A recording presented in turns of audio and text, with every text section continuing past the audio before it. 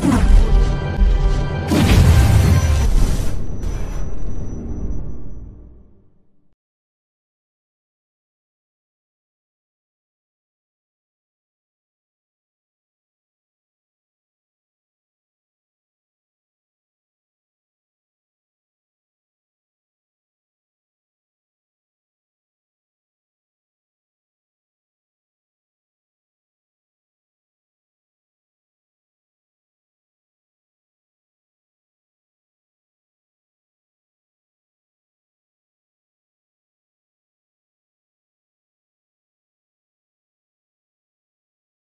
Hallo Freunde der Filmunterhaltung, herzlich willkommen zu meiner Filmbewertung zu dem Film Beetlejuice. Beetlejuice. Ja, in diesem Film kehren drei Generationen der Dietz-Familie zurück nach Winter River. Denn ähm, Lydia Dietz, immer noch gespielt von Reinalda Ryder, hat mittlerweile eine Tochter, nämlich Astrid Dietz.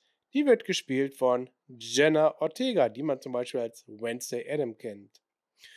Und natürlich ist auch ihre Mutter, Catherine, ähm, Delia Dietz, gespielt von Catherine O'Hara, auch mit von der Partie. Und ja, sie kehren zurück, um ihren Vater zu beerdigen, der seit einiger Zeit, ähm, ja, im Amazonas verschwand und bisher nicht wieder aufgetaucht ist. Und ja, an der Seite von Lydia ist Rory, gespielt von Justin Terrux. Den kennt man zum Beispiel aus, aus Zoolander oder aus Star Wars, der letzte Jedi. Und dieser ist ähm, ja ein bisschen sehr krass in Lydia verschossen. Und ähm, ja, es hält ihn so krass nicht mehr inne, dass er halt ähm, Lydia während der Beerdigungszeremonie ein Heiratsantrag macht. Aber das ist nur ein Teil der Story. Denn Astrid, die ist von diesen ganzen Sachen so überhaupt nicht angetan, was ihre Mutter macht und ist auch so ziemlich so für sich alleine. Und ja, fährt mit dem Fahrrad so ein bisschen durch die Gegend und dort lernt sie Jeremy kennen. Jeremy wird gespielt von Astor Conti. Den kennt man zum Beispiel aus House of the Dragon. Die beiden verstehen sich doch sehr gut und wollen an Halloween auch ein bisschen Zeit miteinander verbringen.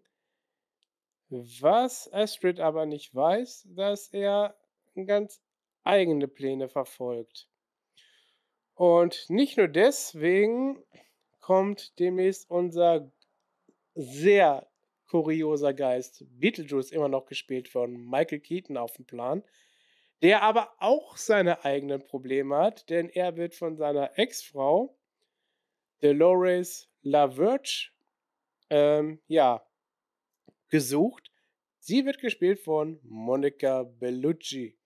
Und die kennt man zum Beispiel aus James Bond Spectre, äh, denn sie möchte Beetlejuice seine Seele rauben.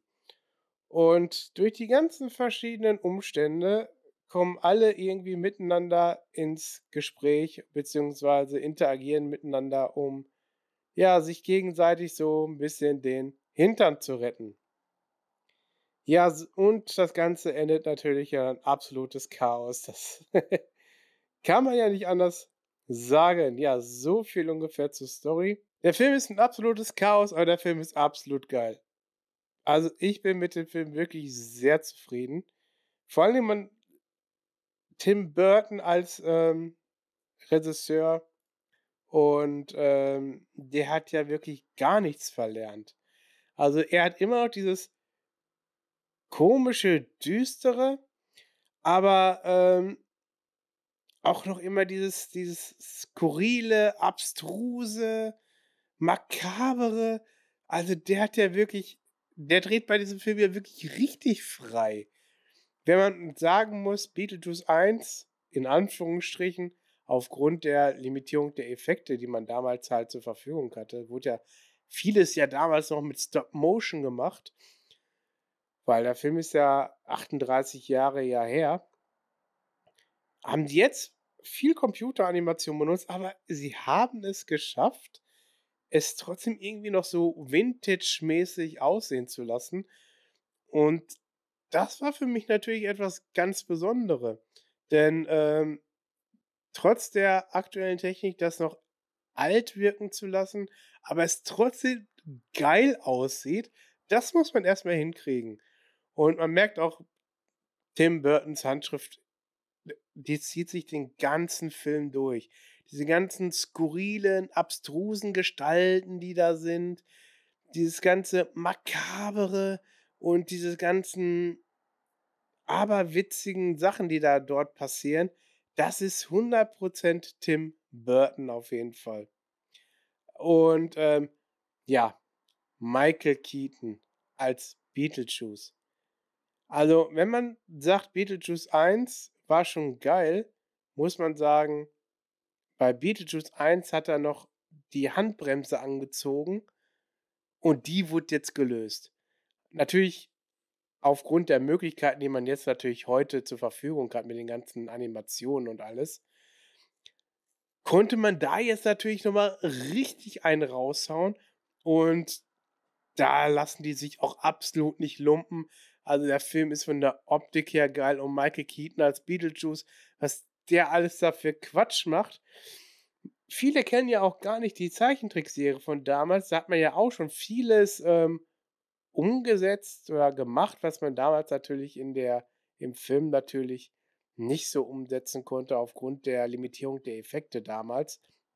Aber jetzt jetzt jetzt dreht er richtig frei und man hat auch so viele neue Figuren dort eingeführt, aber auch so viele alte Figuren wieder zurückgebracht, wo man so sagen muss: „Alter Vater, ihr bringt die alten Charaktere und neue Charaktere so geil zusammen, dass sie so geil in einen Film interagieren, wo man sagen muss, es ist eine Zeitreise von alt nach neu, die einfach gut geklappt hat. Die einfach gut geklappt hat und wo man sagen wo man einfach sagt also, wenn ein also, wenn es eine späte Fortsetzung gibt dann hat man mit dem alten Team, was man mit reingeholt hat, plus das neue Team wirklich es zu einer sehr homogenen Mischung gemacht. Denn es gibt auch einige Gaststars, die da dem Film die Klinke in der Hand geben. Teilweise habe ich sie auch gar nicht wiedererkannt. Und das ist richtig gut gemacht, ey.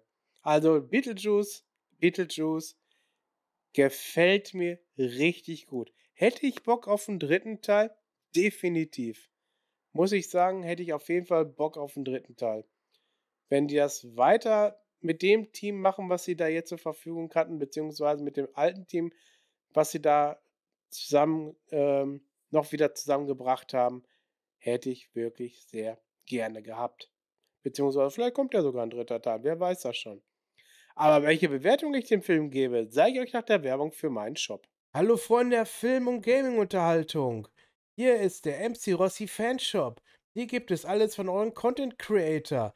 T-Shirts, Hoodies, Turnbeutel und noch vieles, vieles mehr. Und natürlich die Designs von Arts Expert. Also holt euch eins von den coolen Logos und holt euch den coolen Stuff nach Hause. Hier könnt ihr frei wählen, Größe, Farbe, alles was ihr wollt. Also ran da! Und holt euch den Stuff. Bis demnächst. So, da sind wir wieder. Also, Beetlejuice, Beetlejuice. Michael Keaton zurück als der Bio-Exorzist, so wie er sich ja gerne bezeichnet, dreht jetzt in den Film richtig frei aufgrund der, ja, heutzutage, der Möglichkeiten, die man heutzutage hat. Renona Ryder als Lydia einfach super, wie sie den Charakter weiterentwickelt haben. Und mit Jenna Ortega hat man jetzt wirklich einen, ja, einen der angesagtesten Charaktere für, ja, düstere Filme, sage ich jetzt mal, mit in die ganze Sache hineingebracht und sie passt da auch wirklich sehr gut rein, auch wenn sie jetzt den Charakter jetzt anders spielt, als man es von ihr jetzt vielleicht denken würde. Und auch so die ganzen anderen Nebendarsteller sind auch wirklich super gut in diesem Film. Das macht alles so viel Spaß und so viel Sinn. Und was man alles da für Ideen dort umgesetzt hat. Also, ich hatte meinen Riesenspaß bei diesem Film. Und somit gebe ich dieser absolut späten, aber tollen Fortsetzung zwischen 4 und 5 Totenköpfen, weil der Film einfach genau das ist oder beziehungsweise so stellt man sich ein spätes Remake einfach äh, Remake sage ich, späte Fortsetzung einfach vor. Man nimmt das Alte, vermischt es mit was Neuem und hat einfach einen richtig guten Film. Ja, das war meine Filmbewertung zu Beetlejuice. Beetlejuice. Wenn ihr mich unterstützen wollt, dann schaut doch mal unten in die Videobeschreibung. Dort sind ein paar interessante Links, mit denen ihr mich unterstützen könnt. Ansonsten wünsche ich euch noch einen schönen Tag. Bis demnächst.